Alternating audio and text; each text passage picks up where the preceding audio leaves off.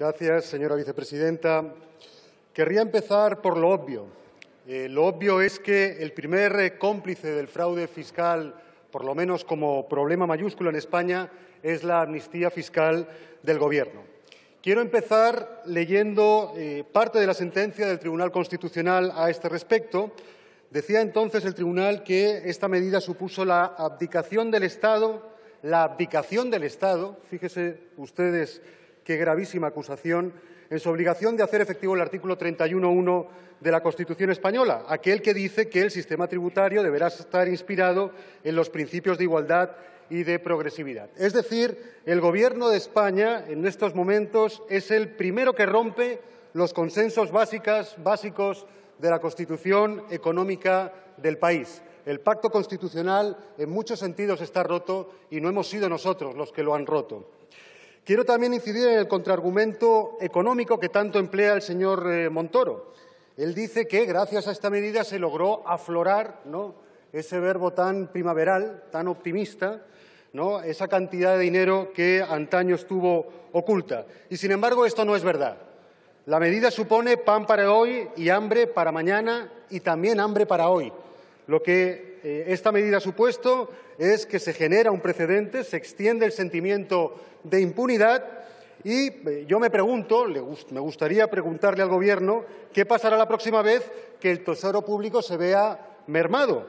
Eh, ¿Dejará entonces el Gobierno de contemplar esta posibilidad para congraciarse además con algunos de sus financistas y, por qué no decirlo también, con algunos de sus amigotes?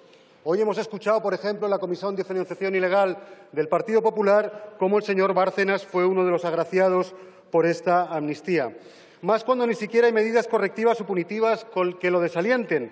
El propio tribunal reconoció que su sentencia era incapaz de corregir absolutamente nada. No les voy a decir, señorías, que envidio a aquellos países que meten, que meten entre rejas a un ministro de Hacienda por semejante fechoría, pero sí les diré que envidio a aquellos otros países cuyo ministro de Hacienda dimite, dimite fulminantemente ante tal descalificación del eh, tribunal. Hay una doble dosis de inmoralidad en todo esto, además, señorías, porque el Gobierno perdona a unos y no perdona a otros, perdona a los suyos y no perdona a los demás. Todo es por los suyos y contra los nuestros, vamos a decirlo. El Gobierno se atrinchera con los suyos para disparar contra los nuestros, y esto hay que decirlo. El señor Montoro, en ese sentido, es un ferviente seguidor de las tesis marxistas, puesto que él, como nadie, cree en la lucha de clases. Y este es el gráfico que muestra exactamente su fe ciega en la lucha de clases. ¿Cómo sube el número de ricos en el país a lo largo de la legislatura del Partido Popular? ¿Cómo sube también el número de pobres en el país? Esta brecha, señorías, es el escándalo de toda una nación. Deberíamos tenerlo en cuenta. También quiero hablar de la amnistía fiscal permanente que se ha estado practicando en este país a lo largo de muchos años. Hay un estado de bienestar oculto, según llaman los expertos.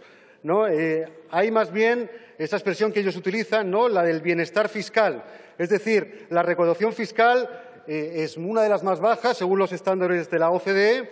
Las rentas del trabajo en España están tributando al 25, al 30, hasta el 45% eh, frente al 18% de las rentas no procedentes del trabajo. El último informe de FEDEA calcula además que apenas un intervalo de entre 40 y 55% del porcentaje de cumplimiento de estas rentas, un dato ciertamente escandaloso. Vamos a hablar también de la agencia tributaria. En 2015 ya eh, se dijo que se habían, se habían investigado a más contribuyentes respecto a otros años. Esto es cierto pero sin embargo la media descubierta por contribuyente es menor. ¿Qué es lo que nos está diciendo esto? Que la agencia tributaria cada vez inspecciona más a los tramos más bajos de renta, donde es más fácil recuperar un dinero, pero los tramos altos, digamos, esos quedan absolutamente olvidados. Hay también una opacidad en los datos proporcionados en, la lucha contra el fraude. Por eso pedimos al Gobierno que se haga pública la información de los delitos fiscales denunciados, de las actuaciones de los ingresos en ejecutiva y de los ingresos de liquidaciones y actos de gestión recaudatoria, que reflejan el núcleo fundamental de eh, los resultados económicos en la lucha contra el fraude. Hasta ahora siempre se habían publicado, este año aún no sabemos por qué no ha sido así. Quiero también decir que coincidimos con el Partido Socialista en su, moción, en parte, en algunos de los puntos que ellos han eh, señalado, que la diputada Blanquer ha señalado. Quiero empezar, digamos, por las eh, coincidencias. Eh, desde luego estamos de acuerdo con un estatuto para la agencia tributaria. En eso también nosotros fuimos muy insistentes en nuestro programa. También creemos que tiene que haber un director de esa agencia tributaria que sea elegido por el Congreso. Eso podría ser una de las medidas que podríamos discutir de cara al futuro. Y, por supuesto, en un plan plurianual de medidas de lucha contra el fraude. Pero quiero también eh, pedir al Partido Socialista que reflexione con nosotros sobre la posibilidad de racionalizar todo el esquema tributario.